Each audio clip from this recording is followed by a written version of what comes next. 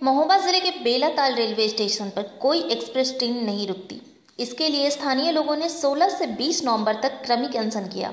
उस वक्त तो वहाँ के सांसद पुष्पेंद्र सिंह चंदेल ने ये कहकर अनशन खत्म करवाया कि वो रेल मंत्रालय में बात करेंगे।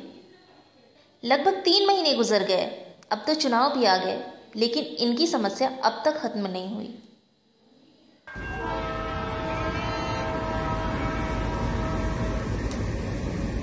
हमारे यहाँ संपर्क क्रांति और जोन एक्सप्रेस गाड़ी है वे रुकती नहीं है।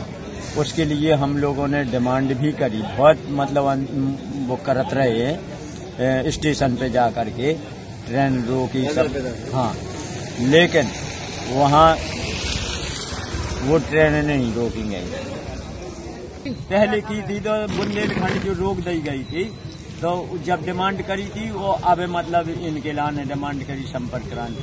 महीना भर लोग मतलब इसके मामले में अनशन किया। पूरे क्षेत्र को मतलब जितना यंग वर्ग है, सब लगा रहा वहाँ, महीने दो महीने पहले। लेकिन कोई सुनवाई नहीं मतलब। हम तो ये जितनी भी एक्सप्रेस ट्रेनें हैं, यहाँ पे सारी ट्रेनों की मांग कर रहे हैं और सारी ट्रेनों के लिए, आवागमन के लिए हमारे यहाँ सवारियाँ भी अवेलेबल हैं। मांग इसलिए कर रहे हैं कि कुलपहाड़ की स्टेशन इंटीरियल में पड़ जाती है और ये जो है यहाँ पे लुटने पिटने की भी संभावना ज़्यादातर बनी रहती है। अभी तो केवल एक्सप्रेस ट्रेनों में ये महाकौशल एक्सप्रेस है बकाया कोई भी नहीं है पैसेंजर ट्रेन है। हेलो? हमने करीब पहले एक दो साल पहले भी एक अनशन हुआ था एक अभी छह महीने पहले भी अनशन हुआ था। सांसद जी आए थे यहाँ पे पुष्पेंद्र सिंह चंदेल। तो उन्होंने भी ये कहा था कि चलो हम ये पहल करवाते हैं आपकी।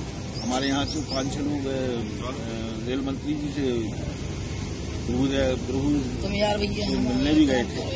लेकिन वहाँ पे जो है अभी हाल कोई ऐसा आदेश नहीं आया कि जिसमें ये ठहराव हुआ हो किसी भी गाड़ी सेलिंग के हिसाब से भी देखा जाए इतनी एक्सप्रेस ट्रेनों का ठहराव भी है कुलपहाड़ के अंदर लेकिन उसके बाद भी टिकटों की सेलिंग जो है हमारे यहाँ से सबसे ज़्यादा है बेलाकाल स्टेशन में झांसी जाना है। तो बहुत दिक्कत है। जो जो जो ये गाड़ी रुकती नहीं है उन गाड़ियों की सारी दिखते हैं। पुष्पेंद्र सिंह हमारे सांसद जी हैं। उन्होंने ये कहा था कि मैं जो है ये एक गाड़ी आपको दे दूँगा ला दूँगा तो अभी तक वो भी गाड़ी नहीं मिली है।